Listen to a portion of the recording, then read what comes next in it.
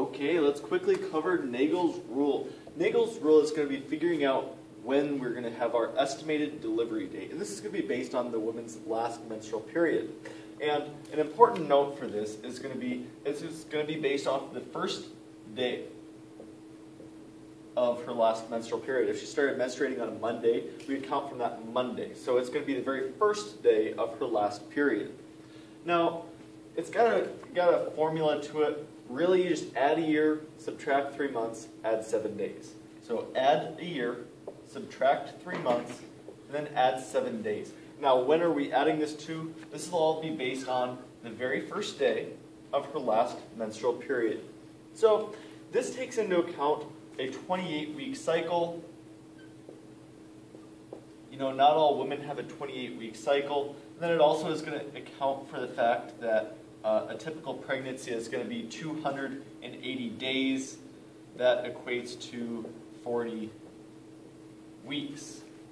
So those are our assumptions. Our assumptions are uh, the woman has a typical 28 week cycle, meaning on day 14 she's going to have the LH surge, uh, releasing the egg.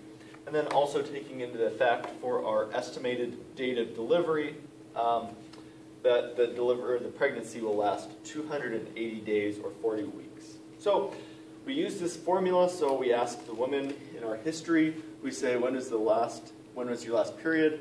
Oh, it was two weeks ago. What day did you first uh, start menstruating?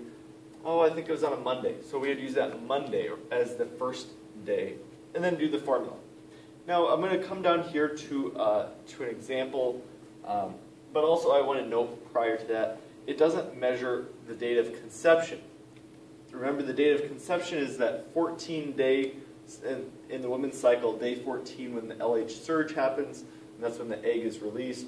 The egg and the sperm meeting, that is going to be our date of conception. That's not going to be the date that we're basing it off of. We're going to be date, basing it off of the first day of her last menstrual period. So, an important rule uh, Naegele's rule does not measure conception. So let's move down here to a quick example. Why did I choose February 14th? Um, I feel like a lot of children get, get uh, born on this day. Um, hopefully you understand why. So I asked the woman, she's pregnant. she comes into my office with an HCG level that's elevated, uh, 48 hours, it's doubled. I say, congratulations, you are pregnant. She probably already knows it because she's missed a period. I say, when was the very first day of your last period? She says, Oh, I think it was February 14th, 2013. And I say, I think you're going to have your baby on. Oh, I need to figure this out. So let's use Naegele's rule. Naegele's rule is going to use the formula plus one year. So February 14th again. I'm not taking into effect uh, leap year. Don't get me on the details. 2014. So that's our plus a year. Now we need to subtract three months. So January, December, November. So November 14th, 2013. Because I just transitioned from 2013 to 2014, I subtracted three months. Now I'm back in 2013 again.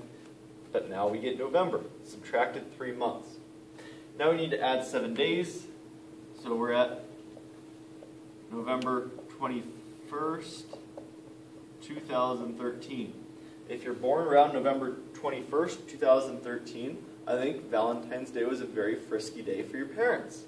However, this is going to be the estimate. Alright, I got cut off there. So November 21st is going to be our estimated date of delivery. Based off of Naegele's rule, we're assuming that 280-day pregnancy. We're also assuming a normal cycle that the woman had, so a 28-day cycle, meaning that day 14 is when the egg got released. Here is going to be our estimated date of delivery.